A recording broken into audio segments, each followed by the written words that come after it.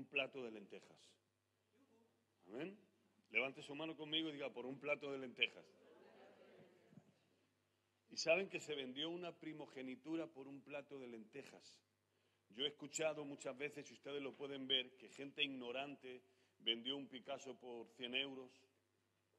Hay gente que vendió antigüedades que valían miles y miles de millones y lo vendieron por nada.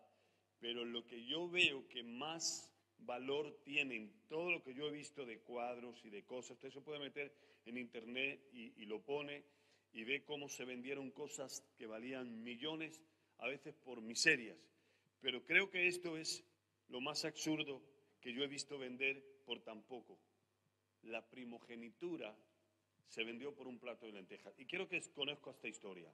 Génesis capítulo 25, verso 29 dice, y guisó Jacob un potaje, y, viendo, y viniendo Esaú del campo, si ustedes no lo saben, Jacob y Esaú eran hermanos. Y dice la Biblia que Jacob guisó un potaje. Génesis 25, verso 29. Y volviendo Saúl del campo, cansado, dijo a Jacob, te ruego que me des de comer ese guiso rojo, pues estoy muy cansado. Por tanto fue llamado su nombre Edón. Y Jacob respondió, véndeme en este día tu primogenitura. Entonces dijo Saúl, he aquí que yo me voy a morir, ¿para qué pues me servirá, la primogenitura? Y dijo Jacob, júramelo en este día. Y él le juró y vendió a Jacob su primogenitura. Entonces Jacob dijo a Saúl, entonces Jacob dio a Esaú pan y del guisado de las lentejas, y él comió y bebió y se levantó y se fue. Así menospreció Esaú la primogenitura. Ahora yo le voy a poner base a todo lo que le digo, quiero que me escuche bien, porque yo he aprendido a lo largo de la vida que las oportunidades no se pierden. Es decir, las oportunidades que usted deja pasar Usted sí las pierde, pero otros la van a aprovechar. Así que lo que usted no valora, va a haber otro que sí lo va a valorar. ¿Te ha visto en el terreno de juego a alguien que tiene un mal día? Que no corre, que no defiende, que no marca goles, que no hace nada. Y el entrenador le está dando tiempo. Cuando ve que no puede, cuando ve que realmente no está funcionando, entonces hace así, cambio. Lo sacan del campo y hay otro que está entrenando, que está estirándose, está haciendo ejercicios, se está estirando y, está corriendo por la banda. ¿Por qué? Porque está esperando que alguien haga mal su trabajo para salir él y demostrar que esa oportunidad no la quiere perder. Entonces, lo que usted deja pasar, hay otras personas que lo van a recibir, porque lo que tú no valoras, lo terminas perdiendo. Levanta tu mano conmigo y di, lo que no valoro, lo termino perdiendo. Y eso es una verdad. Cuando usted no valora algo, entonces lo va a terminar perdiendo. Y la pregunta que yo le hago en esta mañana, ¿cómo sabe usted lo que más valora? Porque no por lo que dices, sino por lo que realmente estás dispuesto a conservar. Usted le pregunta a las personas qué es lo que más valora y no sé lo que le pueden decir. Algunos pueden decir su casa, su esposo, sus hijos, su trabajo, otros pueden decir, lo que más valoro en la vida es Dios, lo que más amo en la vida es Dios. Eso es lo que dices, pero para saber lo que más valora realmente, usted tiene que saber qué es lo que está dispuesto a conservar. Le voy a poner un ejemplo práctico. Imagínese que usted está en, está en un barco o en un globo, mejor en un globo, de esos. Y entonces dice, tenemos problemas, nos vamos a caer, a menos que aligeremos peso, tienen que tirar cosas. Usted va a ir tirando cosas. Usted subió con su maleta, subió con sus cosas. Usted va a ir tirando cosas en medida que le dé menos importancia. A lo mejor usted dice lo que más mm, valor tengo es, es a esto que me regaló mi madre, mi padre, mi hermano, o una foto y tal, y pesa. Si realmente eso es lo más importante, eso no lo va a tirar. Pero si solo lo dice porque quede bien y porque en ese momento es verdad, en la hora crítica se va a ver qué es lo más importante. Y a lo mejor lo más importante para usted no es eso. Lo más importante son las alhajas y el oro que tiene. Entonces no va a tirar primero el oro, va a tirar primero la foto. ¿Me está explicando? Entonces, ¿qué es lo más importante para nosotros? los que estamos dispuestos a conservar y perder otras cosas. Muchas veces decimos que Dios es lo más importante para nuestra vida. Decimos Dios es lo más importante para nuestra vida. Pero estamos, estamos dispuestos a veces a deshacernos de Dios por no tirar cosas internas que hay en nuestra vida. No queremos tirar el pecado, no queremos tirar el orgullo, no queremos tirar las cosas que hay por dentro. Decimos que Dios es lo más importante, pero ¿por qué no tiramos eso y lo conservamos a sabiendas de que conservando eso, la vida de Dios en nosotros va a comenzar a morir? Entonces, eh, lo que más valoras en la vida es lo que termina controlándote porque estás dispuesto a perder todo por ello. Yo quiero hacerte una pregunta en esta noche, sígueme suavecito. ¿Qué es lo que más valoras en la vida? Realmente, no quiero que me la contestes, quiero que honestamente hagas un análisis de lo que más valoras. ¿Qué es lo que más valoras? Porque lo que más valoras, eso es lo que tú vas a retener en tu vida. Y estás dispuesto a perder todo por eso. Si lo que realmente más valoras es Dios en tu vida, entonces estarás dispuesto a perder todo por Dios. Si es necesario perder trabajo por Dios, pierdo trabajo por Dios. Si es necesario perder amistades por Dios, pierdo amistades por Dios. Si es necesario perder oportunidades en la vida que me alejan de Dios y que a lo mejor me van a hacer conseguir cosas que todo el mundo anhela, pero si lo más importante Dios es en mi vida, estoy dispuesto a perder todo eso. Pero si no es lo más importante Dios en tu vida, que es algo que quieres conservar, es algo que te gusta, que te agrada la bendición de Dios, pero no es lo más importante. Entonces hay gente que pierden a Dios por un trabajo. No hablo de la iglesia, hablo de Dios. Porque usted puede trabajar y no venir a la iglesia por su trabajo, pero tener a Dios y mostrar a Dios en su trabajo. Pero cuando nuestro trabajo nos separa de Dios, no de la iglesia, sino de Dios, entonces el trabajo es más importante para nosotros que Dios. Hay gente que por un noviazgo, por una persona a la que aman, son capaces de perder a Dios. Porque todo el mundo te está diciendo, no es de Dios, no te va a ayudar, te va a sacar de sus caminos. Pero el enamoramiento y las burbujas de champán son más fuertes que lo que quieres por Dios. Y así tenemos gente joven que comenzó bien, pero terminó mal porque lo más importante en su vida se reveló que no era Dios. Entonces yo te hago esta pregunta, ¿qué es lo más importante en tu vida? ¿Qué es lo que realmente te importa? Y ahora voy a la historia de Jacob y Saúl.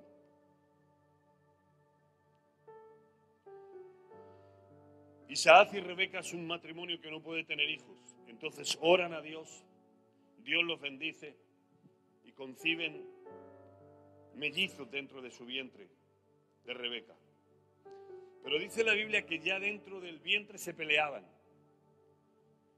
Y cuando nació, nació primero Esaú.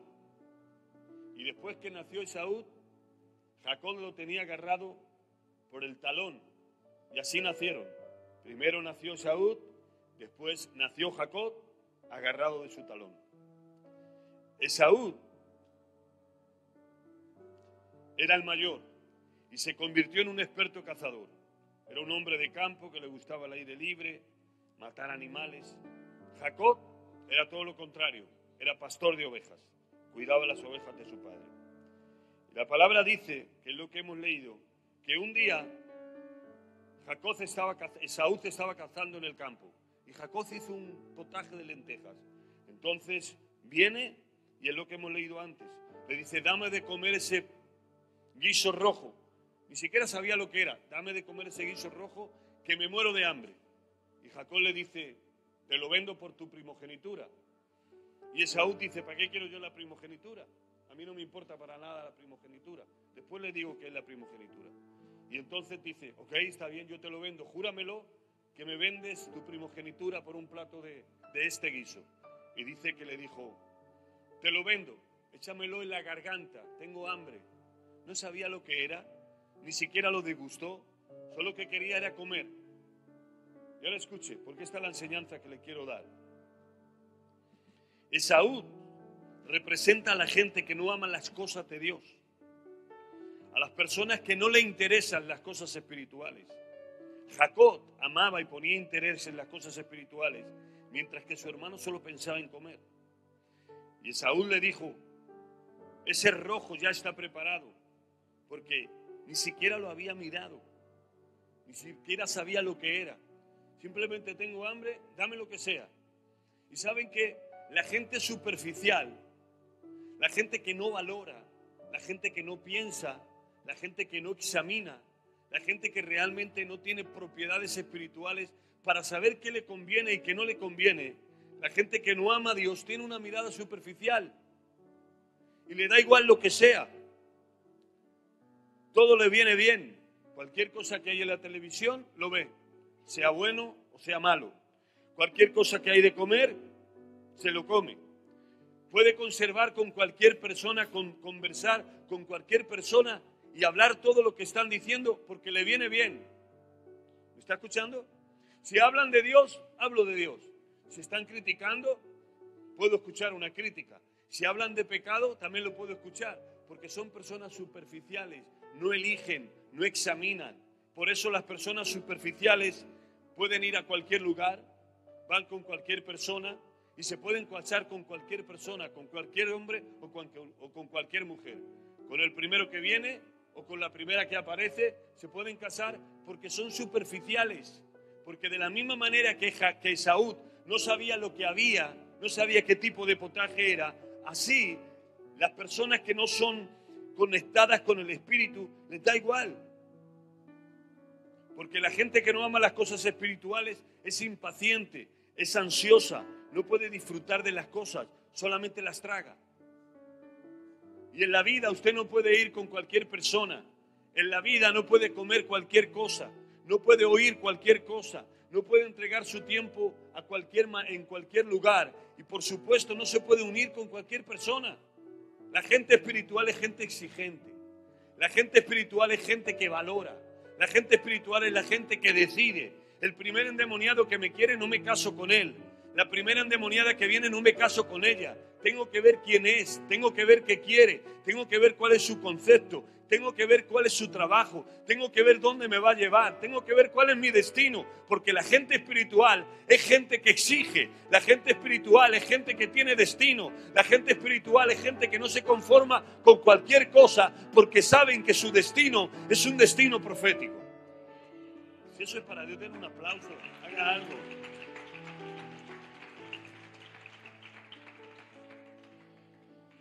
Pero hay gente que solo tiene hambre. ¿Hambre de qué? Gente que tiene hambre de poder, hambre de, sexo, hambre de noches locas, hambre de locura, hambre de, de reconocimiento. Y entonces cualquier cosa le viene bien.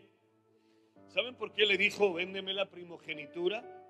¿Saben lo que era la primogenitura?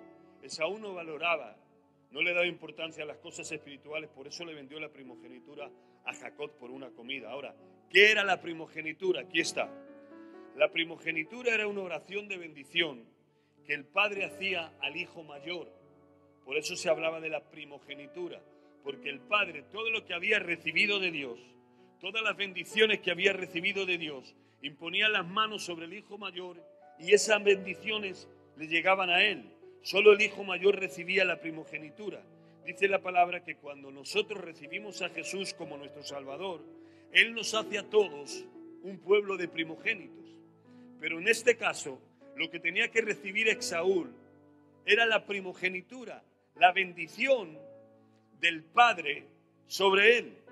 Y ahí hay tres conceptos muy importantes en lo que recibía la bendición el primogénito. Número uno, el primogénito recibía la bendición de la doble porción de la doble porción. Por eso, si ustedes no saben la historia, cuando el padre se está muriendo y vienen a recibir la primogenitura, ¿se recuerdan? Esaú ya la había vendido. La primogenitura le pertenecía a Jacob. Pero el padre no iba a bendecir a Jacob porque el primogénito era Esaú. Entonces Jacob se disfraza de Esaú. La Biblia dice que Esaú era muy velludo Así que se pone pelo de cabra. y se pone sus ropas para goler a Esaú y le da un guiso de caza creyendo que es, eh, eh, Isaac creía que era Esaú y bendice a Jacob. Y mire la bendición que le da, el rocío del cielo y la grosura de la tierra. Esa es la bendición que Isaac le da a Jacob. Le dice, hijo, yo te bendigo para que el rocío del cielo sea tuyo y la grosura de la tierra sea tuyo y tus hermanos te servirán. Escuche lo que le quiero decir.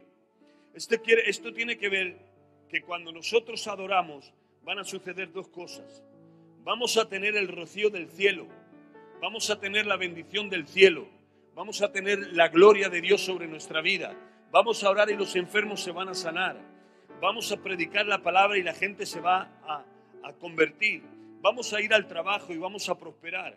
Las cosas de Dios nos van a salir bien en lo espiritual, pero además nos va a ir bien en lo terrenal no solo lo espiritual, vamos a tener el rocío del cielo y vamos a tener la grosura de la tierra, porque de eso se trata. Se trata de que Dios, vamos a estar conectados con Dios y entonces nuestra casa va a ser una casa cristiana.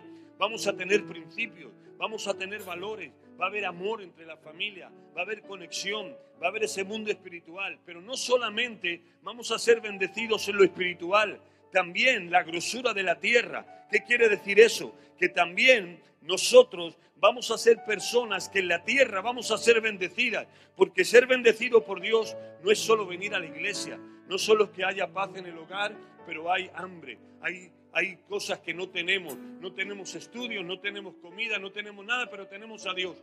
Eso es una mentira del diablo. Si tenemos a Dios como resultado de que el reino de Dios está en nuestras esferas de influencia, nosotros tenemos que prosperar, tenemos que ser bendecidos, tenemos que ser transformados, porque cuando el arca iba a un lugar, traía prosperidad. El arca era revestido de oro. Cuando entró en la casa de Obed, si alguno lo recuerda, dice la Biblia que Dios le prosperó a él y a su familia. Lo que le quiero decir es que la bendición de Dios no solo es espiritual, eso es una mentira. Y eso la Iglesia Católica nos puso una mentalidad muchas veces de pobreza. Sí es verdad que hicieron muchas cosas buenas, pero también es verdad que por equivocación nos pusieron una mentalidad de pobreza. Cuanto más pobres, más humildes. Cuanta más necesidad, Dios está contigo. Pero hay que leer la Biblia. Y la Biblia nos habla de que los justos van a florecer sobre la aurora.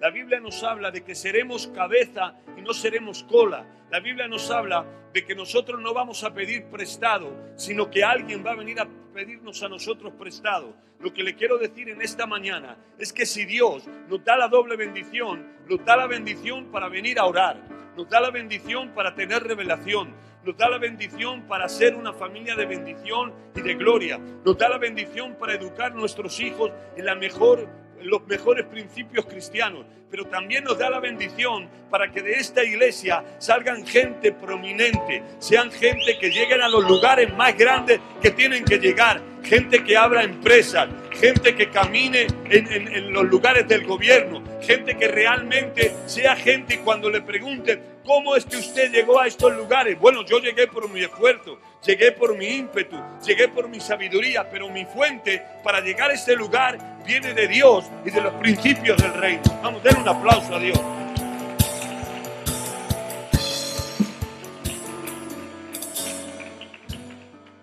Eso yo te profetizo en esta mañana que las cosas malas Dios las va a quebrantar. Yo te profetizo en esta mañana que vienen sobre ti bendiciones de Dios y bendiciones de su gloria, no solamente en lo espiritual, sino también en lo terrenal. No solamente vas a ser prosperado en lo espiritual, sino que también vas a ser prosperado en lo material. ¿Alguien lo puede creer? Yo no sé si realmente me estoy explicando, pero ¿a qué hemos sido destinados nosotros como cristianos? ¿Solamente a venir aquí a orar? ¿Solamente a venir aquí a ayunar? ¿Solamente aquí a sacar los mantos y decir que Dios es grande? Pastor, y eso está mal, no, eso hay que hacerlo. Ven al tabernáculo de oración, vente a los servicios en la mañana y en la noche, vente a las escuelas. ¿Sabes por qué? Porque eso espiritualmente a ti te va a dar la capacidad y te va a dar el poder para que después manifiestes en lo otro, que es en lo físico, lo que aprendes aquí. ¿Para qué oramos aquí? Para ser prosperados. ¿Para qué oramos aquí? Para que nuestra casa funcione. ¿Para qué oramos aquí? Para ser productivos. Entonces, no podemos solamente quedarnos con la parte espiritual. Ustedes saben la historia de los judíos. Por 400 años fueron esclavos en Egipto. Y cuando salieron, el resultado de que era Dios quien los guiaba es que conquistaran la tierra de Canaán. Pero ninguno de ellos sabía nada del ejército. Ninguno de ellos era arquitecto. Ninguno de ellos era político. Sin embargo, Dios levantó el reino del rey David.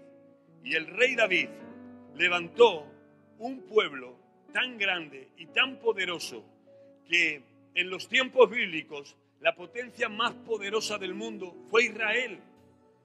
Lo que yo le quiero poner en sus mentalidades es que necesitan activarse para que ustedes sean gente productiva, porque tienen la bendición del primogénito. ¿Y cuál es la bendición del primogénito? Es la doble bendición. Dios te va a dar el rocío del cielo, pero también te va a dar la grosura de la tierra.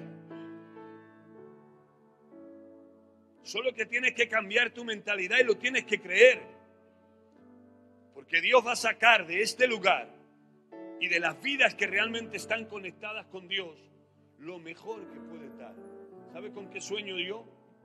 Yo sueño con gente de aquí, sobre todo la gente más joven, que estudien sus carreras y que lleguen a lugares prominentes de la sociedad donde vivimos y que las leyes no las, no las hagan gente impia, las leyes no las hagan gente que deshonran a Dios y que así es como caminamos, por lo menos en España. Yo sueño con que haya un determinado tipo de personas que lleguen a los lugares más prominentes y que las leyes puedan dictarla a ellas. Yo también sueño con que Dios levante empresarios, que tengan empresa que tengan dinero. ¿Para qué, pastor? Para mostrar el reino más excelentemente, para que la gente entienda que no somos cuatro personas ignorantes y pobres que nos encerramos en una iglesia esperando que Cristo venga y nos lleve al cielo. No, eso sí va a suceder. Pero mientras tanto y estamos en esta tierra, tenemos la bendición de la doble porción del primogénito. Dios nos da el rocío del cielo, pero también nos da la grosura de la tierra. Por eso despiértese, actívese, Dios ha puesto potencial y bendición sobre su vida para que llegue a alcanzar todo lo que Dios ha prometido que tiene que ser. Si alguien lo cree, déle un aplauso, grite, haga algo.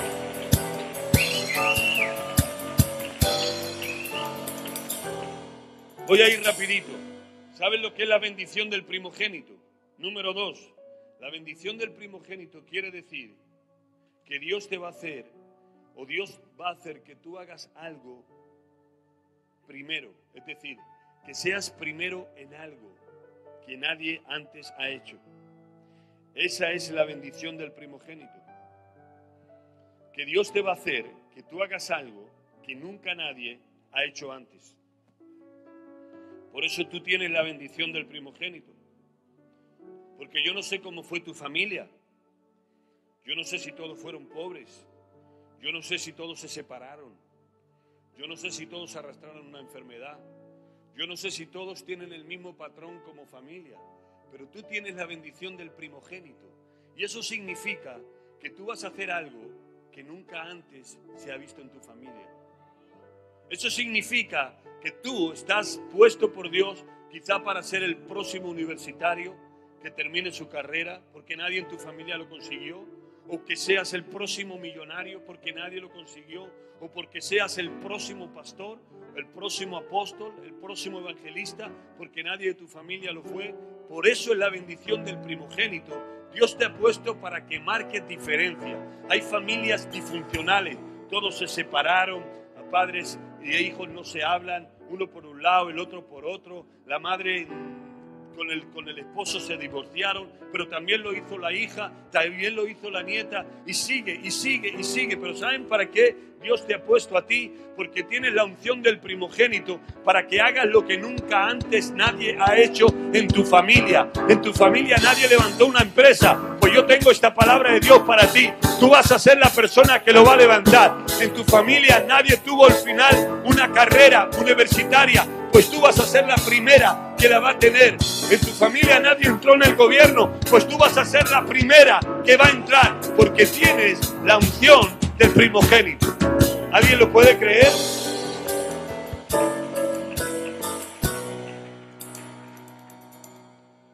Y número tres, la bendición del primogénito te va a dar autoridad sobre el enemigo.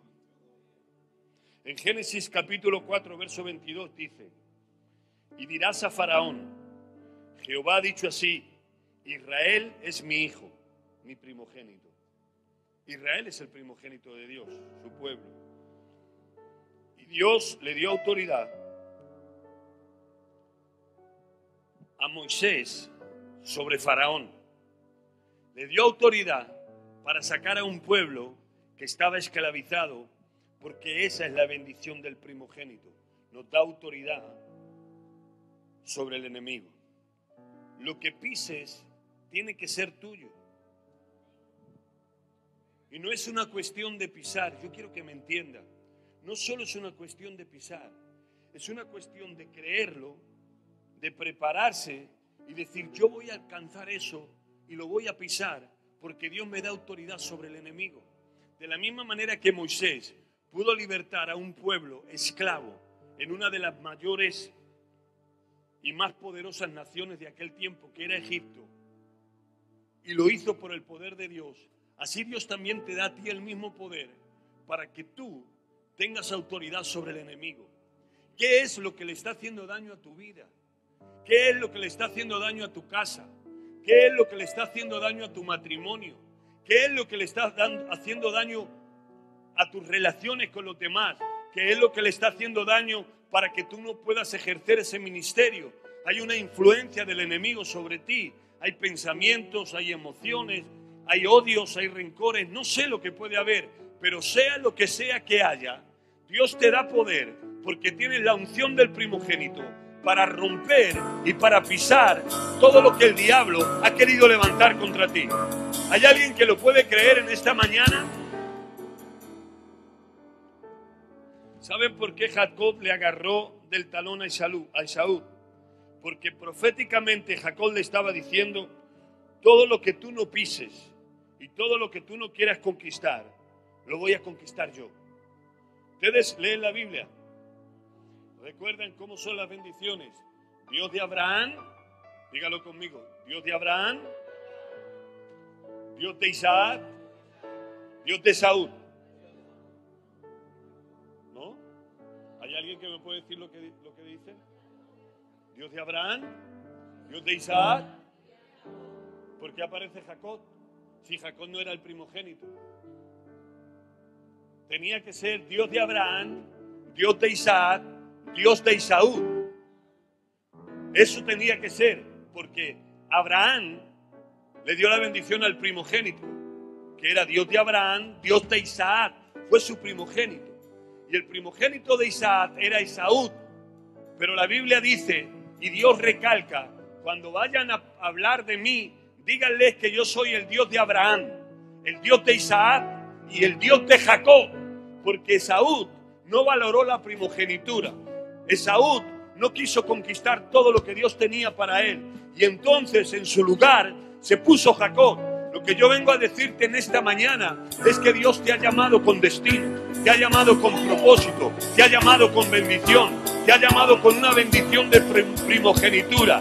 Y lo que tú no quieras conquistar no se va a perder, no se va a romper. Si no hay un Esaú que cumple con Dios, Dios ya tiene Jacob en la reserva para ponerlos y para que conquisten y para que sean llamados Dios de Isaac, Dios de, de, Isaac y Dios de Jacob, Dios de Abraham, Dios de Isaac, Dios de Jacob. Habrá un Jacob aquí que yo quiero tomar la primogenitura, yo quiero tomar lo que otros no quieren tomar. Jacob, no Jacob. Jacob. ¿Qué hay Jacob?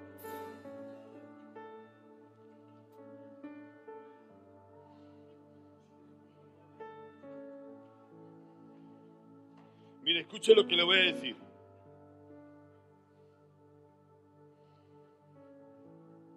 ¿Sabes cómo tienes que ser prosperado tú? haciendo las cosas bien y dándole gracias a Dios por la gente que hace las cosas mal. No me están entendiendo, ¿verdad? Otra vez. Tú tienes que ser prosperado haciendo las cosas bien, pero dándole gracias a Dios por la gente que hace las cosas mal. Porque la gente que hace las cosas mal son las oportunidades para ti, para que demuestres que tú haces las cosas bien. Por eso muchas oportunidades en la vida vienen, ¿saben por qué? Porque alguien hizo las cosas mal. Porque si no hubieran hecho las cosas mal, posiblemente no te hubieran llamado a ti, que hacen las cosas bien. Pero cuando tú no eres correcto en tu trabajo, cuando no eres honesto en tu trabajo y cuando no haces las cosas bien en tu trabajo, Dios no va a apostar en ti para llamarte a que hagas las cosas que otro no supo hacer porque vas a quedar tan mal como el otro y encima estás representando a Dios. Pero cuando tú eres de Dios y haces las cosas bien, enfócate en las cosas bien. Y cuando alguien haga una cosa mal, entonces dale gracias a Dios porque es la oportunidad para que salgas al terreno de juego y demuestres que dentro de ti está la naturaleza de león. Dentro de ti hay un Jacob que pelea por su bendición y dentro de ti eres capaz de tomar todo lo que Dios ha dicho que eres. Amén.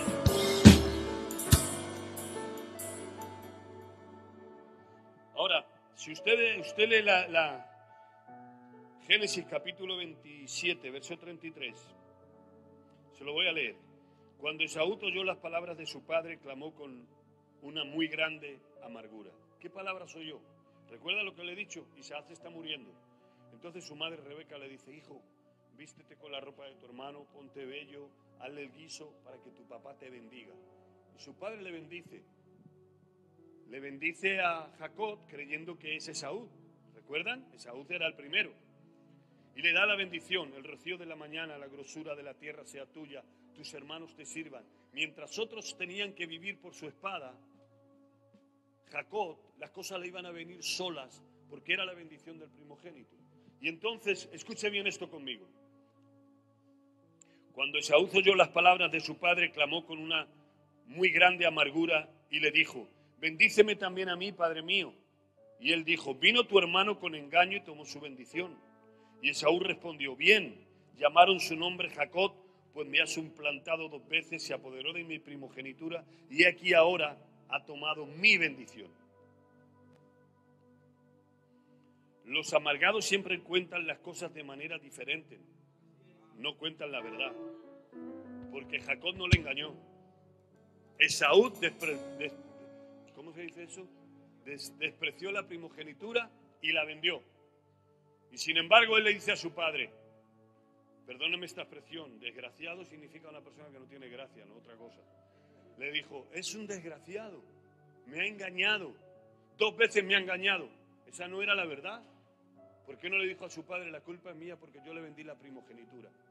Pero él cuenta las cosas de manera diferente, porque la gente amargada, la gente que realmente no ama a Dios y la gente que no pelea por las cosas de Dios, cuando se va de un lugar o se va de otro sitio, siempre se va marchando culpando a los demás, el pastor, la pastora, los del coro, los mentores, los líderes, y cuentan siempre las cosas a medias, porque Saúl no contó la verdad. La verdad no es que te había robado la primogenitura. La verdad es que le vendiste la primogenitura por un plato de lentejas y cuando tú despreciaste eso, Dios ya lo puso a él en el antemano de lo que tenía que ser, porque si no, Dios nunca hubiera consentido que Jacob ocupara el lugar de Saúl. Pero no solamente es que la robó, sino no es que la robó, sino que tú la despreciaste y por eso Dios te quitó del lugar de tu bendición.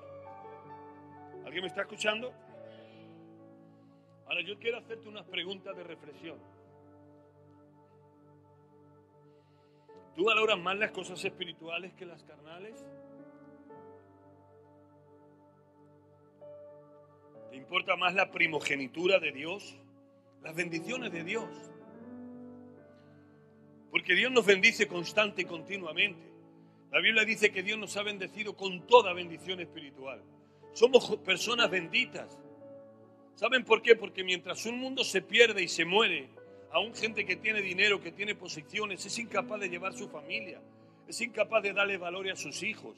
La gente más inteligente de, de España y la gente que está en los lugares más prominentes son los que ponen leyes de que un niño pequeño o una niña pequeña puede cambiar de sexo. ¿Hasta dónde ha llegado la perversión y la locura del hombre? Que pueden entrar en un servicio los niños y las niñas porque ahora ya no hay sexo. Eso es mentira. Es una mentira que ellos se inventan, pero dicen que no hay sexo, que el sexo se elige. Es una locura, es una depravación de la gente que se supone que es la más inteligente. Así está el mundo, así camina el mundo. Hay más enfermos mentales que nunca. Hay más violaciones, más robos. Hay más infidelidades. En conclusión, el mundo que se supone que con gente inteligente y con grandes tecnologías tendría que ser el lugar mucho más eh, beneficiado para las personas y mucho más feliz que hace 50, 60, 80, 90 o 200 años atrás, es todo lo contrario. ¿Saben por qué?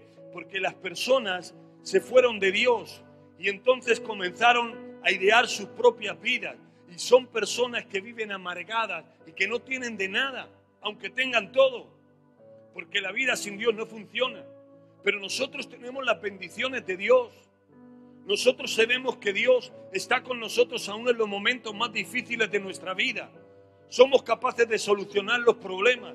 Tenemos el poder de Dios para perdonar, porque hay gente que no puede perdonar podemos aplicarnos la liberación de Dios sobre nuestras vidas. Tenemos los principios de cómo guiar a nuestros hijos. Ahora escuche, ¿realmente tú valoras estas cosas espirituales?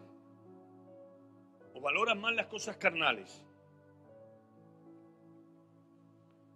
Y mucha gente puede decir, yo amo al Señor.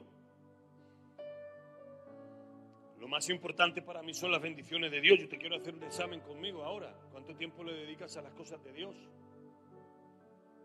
Porque el tiempo que le dedicas a las cosas del Señor, eso habla de cuánto valoras las cosas de Dios.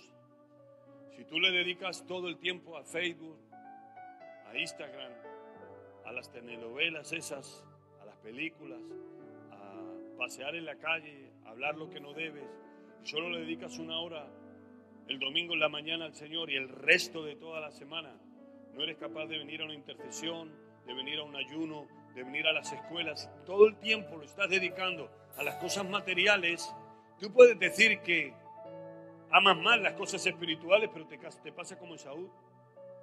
El Saúl las despreció, pero después quería la bendición. ¿Me está escuchando? Y así la gente desprecia las cosas de Dios, pero luego cuando hay un problema, cuando hay una dificultad, entonces corren a Dios. ¿Cuánto tiempo le dedicas al Señor? ¿Cuánto dinero inviertes en tu vida espiritual? ¿Cuántos libros compras? ¿Cuántos prédicas escuchas? ¿Cuánto inviertes con tu esposo, tu esposa para decir, voy a ir a un congreso y voy a ser ministrado por lo que estos hombres de Dios predican, porque yo quiero crecer? ¿Cuánto es lo que realmente inviertes? ¿Cuánto es lo que vale la vida espiritual de Dios para ti? ¿En qué te enfocas? Porque es imposible enfocarnos en cosas materiales y tener sentimientos y pensamientos espirituales. En lo que tú te enfocas, en eso vas a crecer. ¿Me están escuchando? ¿En qué te enfocas? ¿Qué haces con tu vida en la mañana cuando te levantas? ¿Qué lees? ¿Qué ves? ¿Qué hablas? ¿Quién son tus compañías? ¿De qué fuente bebes? Porque de la fuente que bebes Así van a ser tus pensamientos, así van a ser tus sentimientos y así van a ser tus acciones. No podemos ser espirituales si pasamos mucho tiempo haciendo cosas carnales y humanas. Entonces Dios le dijo a Jacob, por cuanto amaste lo espiritual, yo voy a ser el Dios de tu abuelo Abraham, de Isaac y de Jacob, no el Dios de Saúl porque Él amó las cosas espirituales.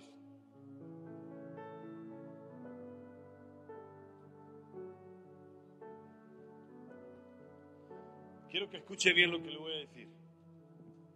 Cuando tú estás enfocado en Dios, cuando realmente Dios es lo más importante para ti y tomas de la fuente de Dios para ti, la gente va a ver en ti un imán, porque va a preguntarse cómo es que funciona tu vida, ¿Cómo es que tienes esa manera y ese carácter ante los problemas.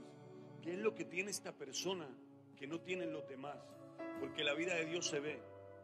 ¿Saben por qué Dios no llamó a José al principio cuando tuvo el problema de los sueños? ¿Se recuerdan? Siete vacas flacas, siete vacas gordas. ¿Saben por qué no llamó primero a José? Llamó a todos los astrólogos, a todos los brujos y a todos los hechiceros a ver si le podían descifrar el sueño. Y cuando ninguno pudo, entonces llamó a José. ¿Saben por qué no lo llamó primero a José? Porque Dios estaba dejando ver a Faraón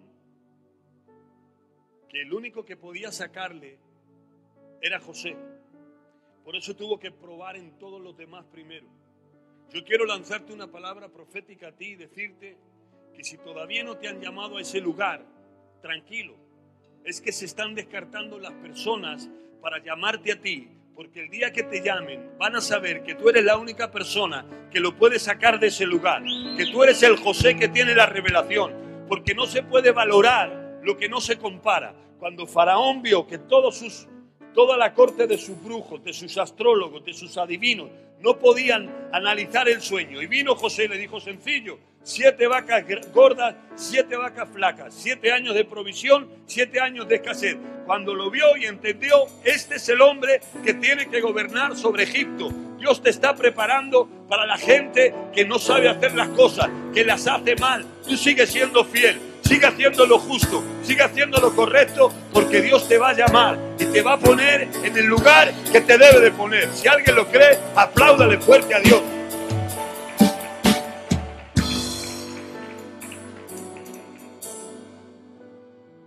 ¿Recuerdan lo que hizo José? José le dio la revelación del sueño, le dijo el plan de ahorro, pues hay que guardar cuando vienen las vacas gordas los tiempos de abundancia para cuando viene la escasez.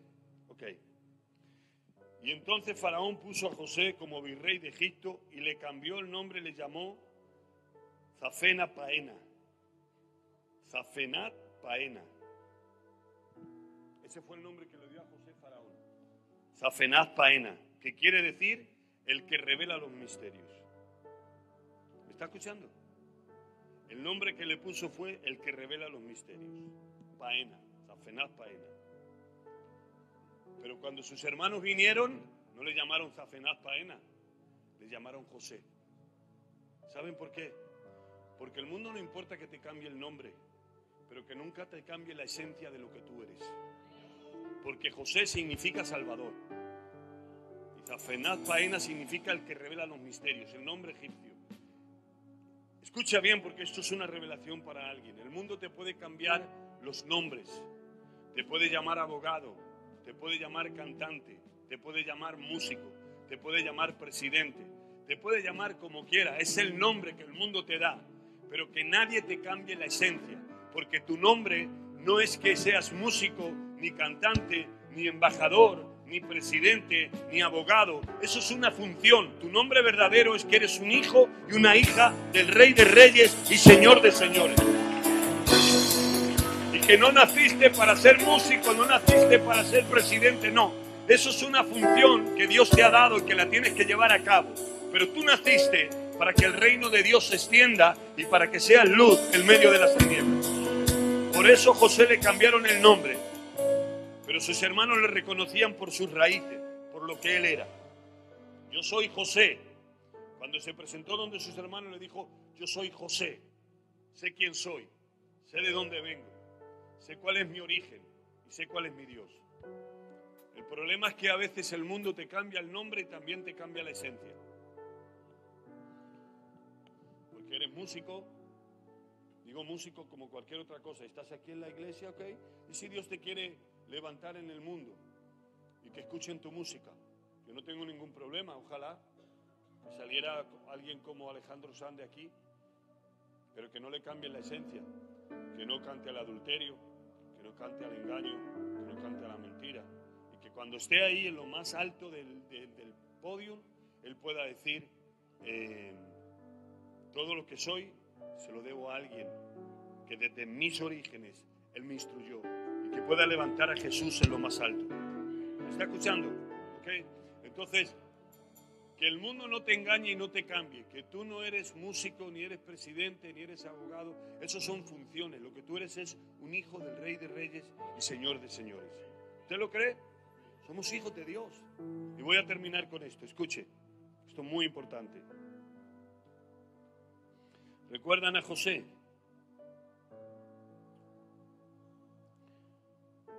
En el capítulo 45, verso 9, 8 y 9, si no me equivoco, cuando sus hermanos vienen donde José y le reconocen y se reconcilian, José le dice algo muy importante. Le dice, dile a nuestro padre que vivo y que además gobierno sobre todo Egipto. ¿Sabe lo que le estaba diciendo? Dile que no solamente vivo, que vivo, pero que además gobierno sobre todo Egipto. Que Egipto no me ha gobernado a mí, que yo gobierno Egipto. ¿Me está escuchando? No importa donde Dios te ponga y en lo más alto que te pueda llevar. Lo importante es que Egipto no te gobierne, que el mundo no te gobierne, sino que tú mantengas en control y en gobierno todo lo que Dios te ha dado bajo la planta de tus pies. No podemos perdernos por la abundancia, porque entonces Dios nunca nos dará abundancia. No podemos perdernos por la escasez, porque entonces la escasez nos apartará de Dios. Lo que le quiero decir es que tenemos la unción del primogénito para gobernar y para reinar. Y sea cual sea la situación en la que estamos viviendo, yo por eso apuesto de que la política no va a corromper a los hijos de Dios. La música no va a corromper a los hijos de Dios. El dinero no va a corromper a los hijos de Dios. Las posiciones no va a corromper a los hijos de Dios. Porque he hablado con algunos pastores que dicen, no los podemos meter los cristianos en política porque la política corrompe a todos. Yo digo, no, la política no corrompe. La política revela el corazón de las personas. El dinero no corrompe, el dinero revela el corazón de las personas. La persona que no se ha corrompido por el dinero, escúcheme, la persona que no se ha corrompido porque no tiene dinero, no podemos saber si es digno. No te has corrompido porque no tienes dinero. Cuando te dan 20 millones de euros, el dinero no te corrompe. El dinero revela cuál es tu corazón. Y como tu corazón no era digno, te has corrompido cuando has tenido la oportunidad de corromperte.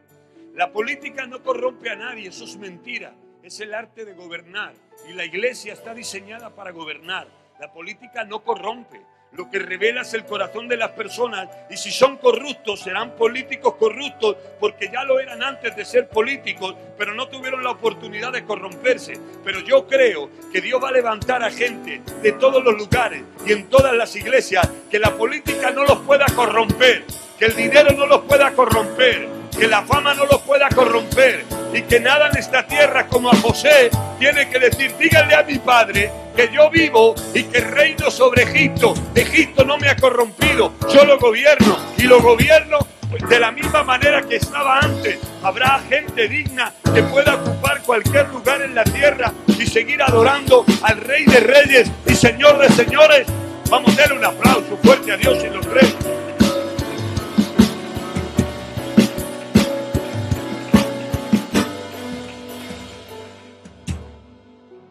¿Sabe por qué te digo esto? Porque usted no puede vender su primogenitura por nada ni por nadie. Y se lo voy a decir más clarito. Usted no puede quitar ni vender la bendición de Dios de su vida. Lo más importante que tienes es la bendición de Dios. Si pierdes la bendición de Dios, no te queda nada.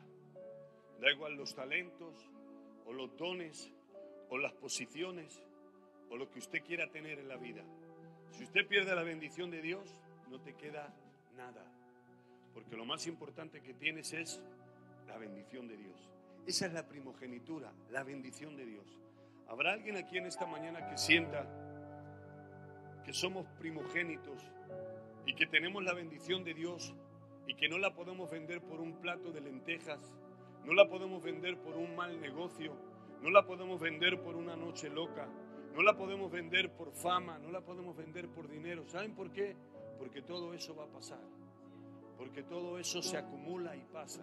Pero las bendiciones de Dios son eternas. No solamente nos sirven aquí, sino que las vamos a disfrutar por una eternidad al lado del Rey de Reyes y Señor de Señores. ¿Usted lo cree? ¿Le puede dar un aplauso a Dios si lo cree?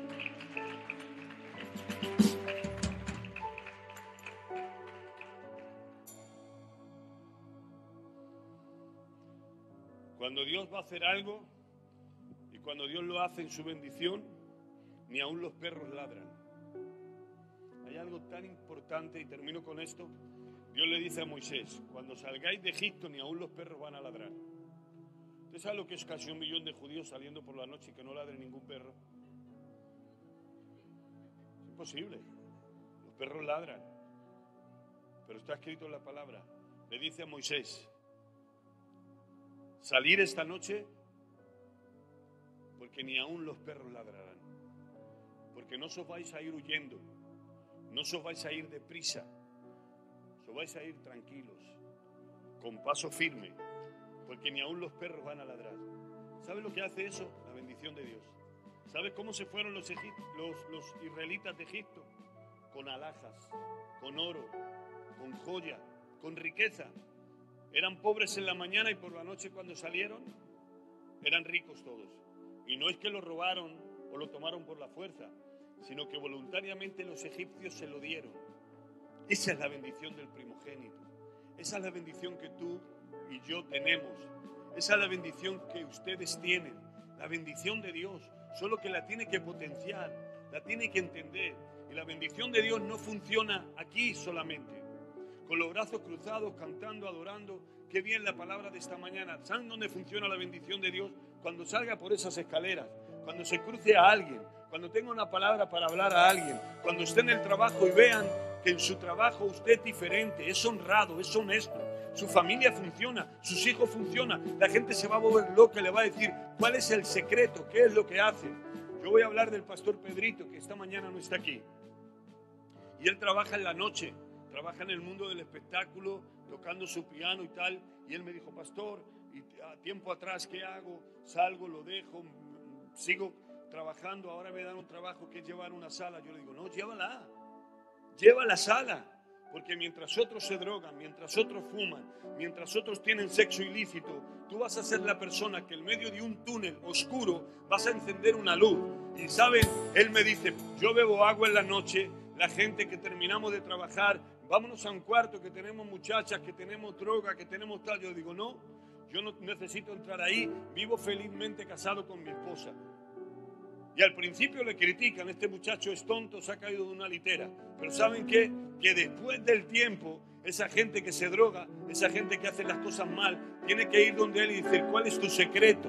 Llevas tres meses, seis años contigo, te conocemos, todas las cosas que haces, ¿cuál es tu secreto? Porque yo me divorcié de mi, de mi mujer, he perdido todo por las drogas, he perdido todo por esto. ¿Cuál es tu secreto? ¿Sabes cuál es su secreto? Ahí es cuando Él predica. Y muchas de las gentes, artistas que han venido a esta iglesia, es porque Él ha sido una luz en medio de las tinieblas. Lo que yo te quiero decir en esta mañana es que tú tienes la unción del primogénito. Y la unción funciona ahí fuera. En tu trabajo tienes que ser diferente.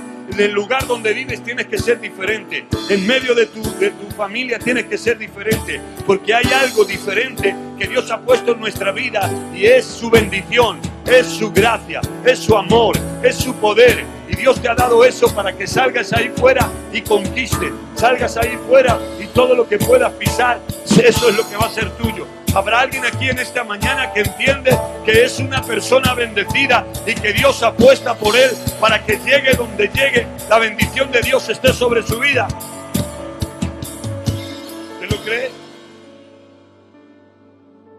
¿Cuántos saben que lo que pise la planta de tus pies va a ser tuyo? No, no, quiero que me respondan de verdad. ¿Cuántos saben que lo que pise la planta de tus pies va a ser tuyo? Ahora ya hay menos, ¿por qué? ¿Cuántos saben que lo que pise la planta de tus pies va a ser tuyo? Ahora, quiero que, con esto sí que termino, suave. Quiero que entienda bien lo que le dijo Dios a, a Josué. Lo que pise la planta de tus pies será tuyo. Es decir, lo que no pises no es tuyo. Solo lo que pises. Si usted mentalmente entiende que lo que pise va a ser suyo, no es un acto de pisar simplemente. Usted no va a ver un coche ahora ahí y pone la planta del pie y es suyo. Eso es, eso es misticismo. Es mucho más profundo. Lo que está diciendo es, todo lo que te atrevas a conquistar, todo lo que te atrevas a ver, a creer y hacer las, las acciones correspondientes para llegar a ello, eso lo vas a conquistar. ¿Me entiendes? No se trata de pisar, literalmente sí era en Israel, porque le dijo, lo que pises es tuyo, porque para pisar la tierra que querían conquistar de los cananeos, tenían que pisarla, y para pisarla tenían que luchar porque estaban todos defendiendo el territorio. Entonces de lo que se trata es que los sueños que tienes en tu mente y los desafíos que continuamente Dios te lleva, hágalo. Inicie ese trabajo, levante esa empresa, empieza ese ministerio, trabaja en lo que has estado pensando y que tienes temor, porque en esta mañana Dios te dice que si tú lo accionas, que si tú eres capaz de pisarlo, Dios te lo va a dar, porque lo que pise la planta de tus pies será tuyo. ¿Hay alguien que lo cree? Yo quiero que se ponga en pie conmigo.